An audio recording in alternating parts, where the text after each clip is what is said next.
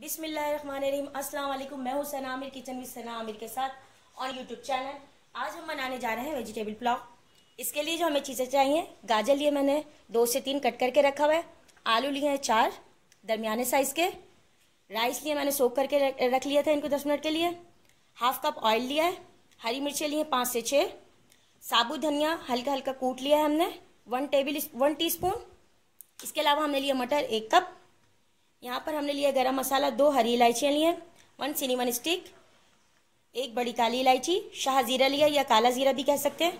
काली मिर्चें लिए छः से सात, लौंग लिए छः से सात, अदरक लहसुन का पेस्ट लिए दो टेबल स्पून नमक लिया हजबे ज़रूरत, कुटी मिर्ची लिए हाफ़ टी स्पून और एक बिल्कुल छोटे साइज़ की हमने प्याज करके रखी हुई है यहाँ पर, बारीक स्लाइस में कट करके, दो बे लीव लिए हैं, सौंफ लिए हमने वन टीस्पून इनको, इसको बारीक बारीक इसको भी क्रश करके रखा हुआ है। अपनी रेसिपी स्टार्ट करते हैं। बिस्मिल्लाहिर्रहमानिर्रहीम ऑयल डालेंगे।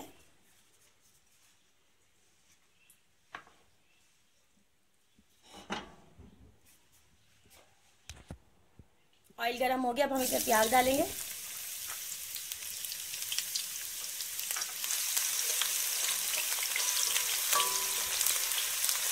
लाइट ब्राउन कलर करेंगे प्याज का।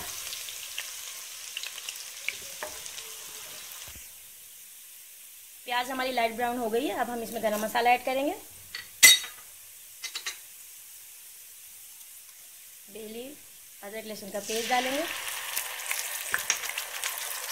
इसे कम चलाएँगे ताकि अदरक लहसुन का कच्चा दूर हो जाए। अब इसको मटर ऐड करेंगे। गाजर ऐड करेंगे। आलू ऐड करेंगे। नमक और कुटी मिर्च ऐड करेंगे।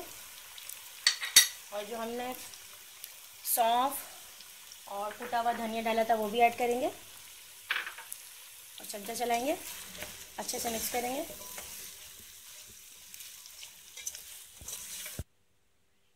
अच्छा दही मैं आपको बताना भूल गई थी तो एक प्याली मैंने दही लिया है, वो डालेंगे। और इसको पाँच से आठ मिनट के लिए छोड़ देंगे, ताकि ये अच्छे से हमारी सब्ज़ियाँ जो है, वो गल जाए। दही के ये देखें, आठ मिनट हो गए। हमारी सब्ज़ी अच्छे से गल गई अब हम इसमें चावल ऐड कर देंगे। पानी डालेंगे।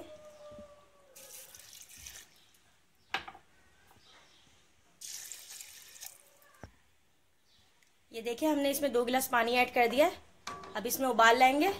उसके बाद जब पानी कम हो जाएगा तो फिर इसे दम लगाएँगे। चावल में हमेशा इसी स्टेज पर नमक आप चेक कर लिया करें। अगर कम लगे तो फिर थोड़ा सा और ऐड कर लिया करें। ये देखिए, हमारे चावल का पानी कम हो गया है। अब बस इस स्टेज पर हम इसको, इस स्टेज पर हम इसको दम लगाएँगे। बारह मिनट के लिए इसको दम पर रख देंगे, बिल्कुल लो फ्लेम पर। ये देखिए, बारह मिनट हो गए। अब हम इसमें थोड़ा सा घी डालेंगे। इससे खुशबू अच्छी आती है।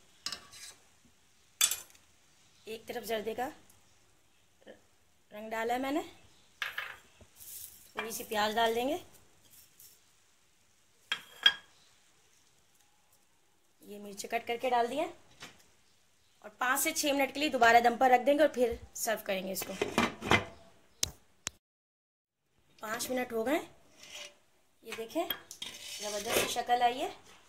बस हम अब इसको निकालते हैं। और डिश आउट करके आपको दिखाते हैं कि हमारे कैसे बने राइस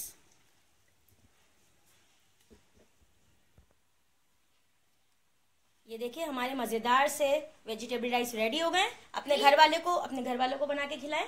प्लीज़ अगर आपको मेरी अम्मी की वीडियो पसंद आए तो प्लीज़ लाइक कीजिए शेयर कीजिए और सब्सक्राइब कीजिए। और बेल आइकन पर क्लिक करें। अल्लाह हाफिज़।